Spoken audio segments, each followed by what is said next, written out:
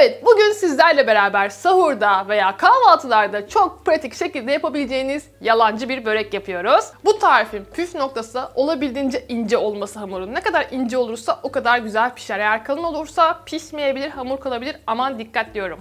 Haydi. Yumurta. Hoppa. Bu tarz tarifler e, sağlık bakımından çok faydalı oluyor. Çünkü dışarıda böyle yağlı yağlı börekler yemektense evde rahat bir şekilde yapıp tüketebiliyorsunuz. Kabartma tozu ve tuz. Miktarları aşağıda yazacağım. Ve çırpıyoruz. Bir güzel çırpıyoruz. Ben un kullanırken yulaf unu kullandım. Yulafı neden yulaf unu kullandım? Size de olabilir diye söylüyorum çünkü evde un kalmamıştı. o yüzden dedim ki ne yapsam ne yapsam. Yulafı rondodan geçirdim. Yulaf unu yaptım. Yaklaşık bir buçuk su bardağı kadar bir yulaf unumuz var. Yarım yağlı sütümüz var. Süt yoğurt gruplarında her tarifimde söylüyorum yarım yağlı bizim tercihimizdir. Hop. Bu da ortalama bir buçuk su bardağı kadar bir süt. Çırpıyoruz. Yulaf kullandığım için kıvamı birazcık bakacağım acaba nasıl olacak diye. Çok mu sıvı olacak acaba diye. Ki birazcık öyle oldu gibi. Ama üzerine bir de yaklaşık bir su bardağı kadar, bu birazcık büyük bir ölçek, bir su bardağı kadar bir kaşar peynir ekliyoruz. Bu da yarım yağlı olmasında fayda var. Benim kabım birazcık büyük olduğu için birden küçük gözüküyor ama bu normalde böyle şey kaplar. Beslenme kabı. Güzel gözüksün diye bundan yaptım.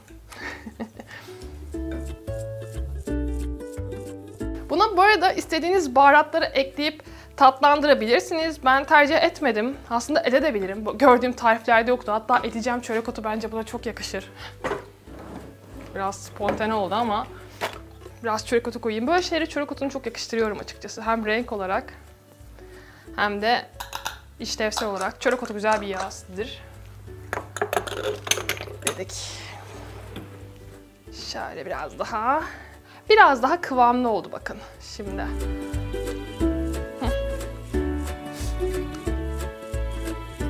Birazcık un ekleyeceğim ama ben buna. Azıcık azıcık unum vardı. Bakın kıvam böyle olduğu için. Buna da yeri gelmişken sinirlenmek istiyorum. Şimdi internetten tarifleri biz de bakıyoruz tamam mı? Sağlıklı olanları tercih ediyoruz falan. Bazı tarifler ölçü tutmuyor. Aşırı uyuz oluyorum buna. Bu da mesela onlardan biri. Şimdi ben buna biraz daha un ekleyeceğim. Tamam yulaf unu kullanmış olabilirim ama aynı şeyi çok da etkilemez açıkçası. Ee, ortalama 2 su bardağı una falan denk gelecek şimdi bu. Şöyle birazcık ekleyeceğim. Direkt. Ve burada da gerçekten hakkımı geçemeyeceğim. Ben buraya ölçüsü olmayan tarif yapmıyorum. Özellikle yazıyorum aslında, özellikle deniyorum. Bunu önceden deneme fırsatım olmadığı için böyle oldu. Ama kesinlikle tarifler deneniyor, tadılıyor. Tadını beğenmezsem paylaşmam mesela bunu. Tadını beğenmediğim şeyi, kıvamı olmayan şeyi bu kanalda bulamazsınız. Ve yeşil soğan. İstediğiniz başka sebzeleri de ekleyebilirsiniz. Maydanoz, dereotu vesaire çok yakışır onlarda. Ben birazcık iri iri kıydım. Tavada yapacağız. Aşırı pratik olacak diye düşünüyorum. Ve çok güzel gözüküyor. Haydi gelin tavaya geçelim. Tava için 2 yemek kaşığı kadar yağ kullanacağız. Şöyle bir altını koyalım hemen.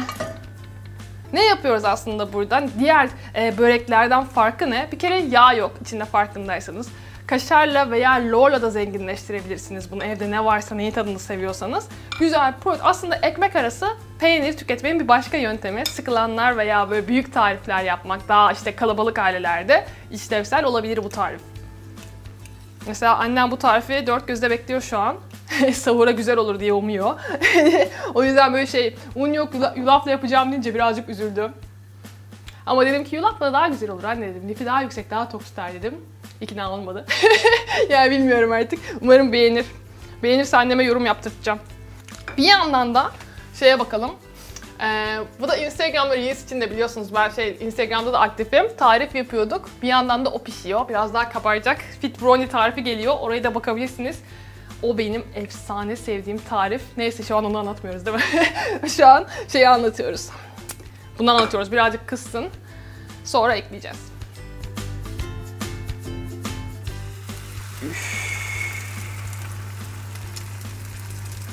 Vay. Çok güzel koktu. Üzerini kapatıyoruz pişmesi için.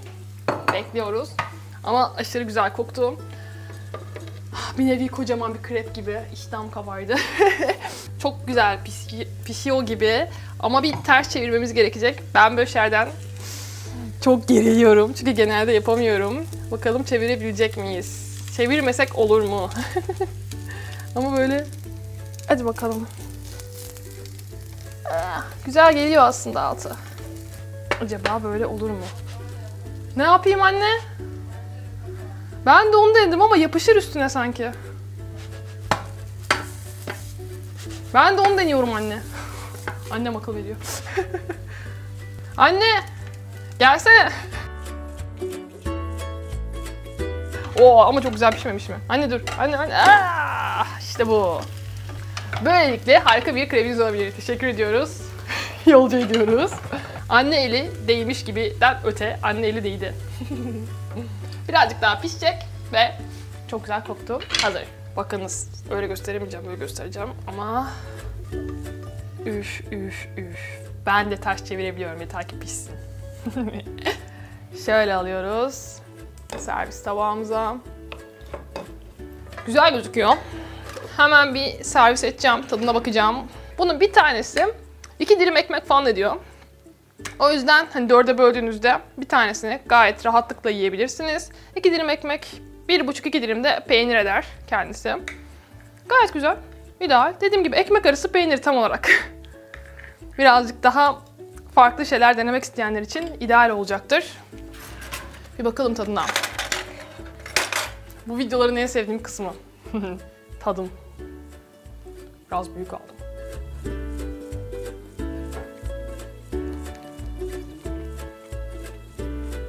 Çok güzel. Bunu lorla falan da yapabilirsiniz. Ben loru çok yakıştırdım şu an yaparken tarife. Güzel baharatlar ekleyebilirsiniz. Gayet lezzetli bir tarif olacağına eminim öyle eklediğinizde. Videoyu beğendiyseniz beğenmeyi, kanalıma abone olmayı unutmayın diyorum. İyi günler. Hoşçakalın. Bay bay. Artık.